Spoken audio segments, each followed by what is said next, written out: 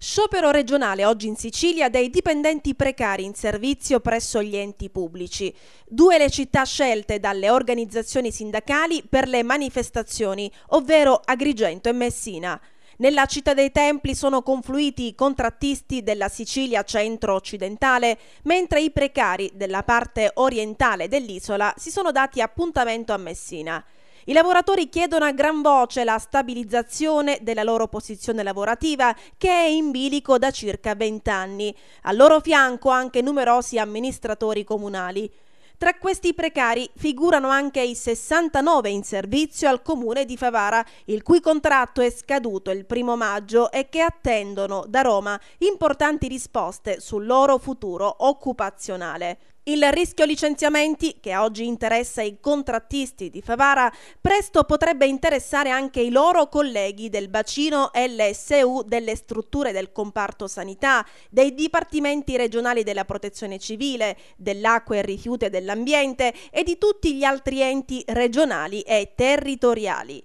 In Sicilia sono diverse le cifre attestanti il numero del precariato. Secondo una stima, i dipendenti degli enti pubblici con contratto a tempo determinato sarebbero circa 25.000.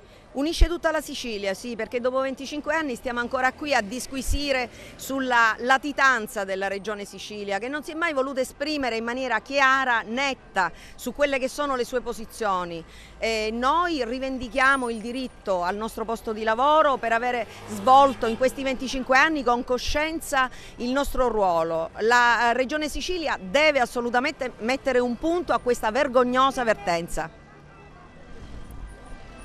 Purtroppo oggi abbiamo un esempio preciso. Al comune di Favara 69 contratti non sono stati rinnovati.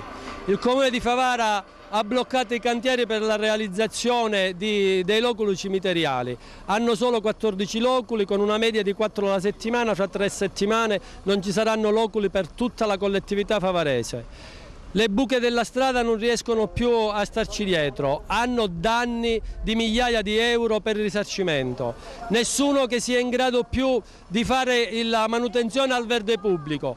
Questo è l'esempio di quello che succederà nella pubblica amministrazione se non si pone freno a questa precarizzazione che dura da troppo tempo in Sicilia. Noi sosteniamo assolutamente la presenza di due leggi, una a livello regionale e l'altra a livello nazionale, in maniera tale da poter arrivare pur con lo stesso impegno di spesa alla stabilizzazione dei lavoratori. Queste manifestazioni continueranno a macchia d'olio in tutta la Sicilia e noi bloccheremo la pubblica amministrazione perché ad oggi ci rendiamo conto che il personale precario è assolutamente importante. Noi chiediamo la stabilizzazione di questo personale, è una stabilizzazione così come fu fatta al tempo anche per la 285 con, eh, con tutto quello che ne consegue. Questo personale eh, dei lavoratori è indispensabile per gli enti locali, tenga presente i vigili urbani oppure tenga presente anche la situazione che c'è all'interno delle aziende sanitarie dove ci sono medici e infermieri che sono precari. Eh, immagini lei se domani mattina questo personale andrà a casa cosa succederà.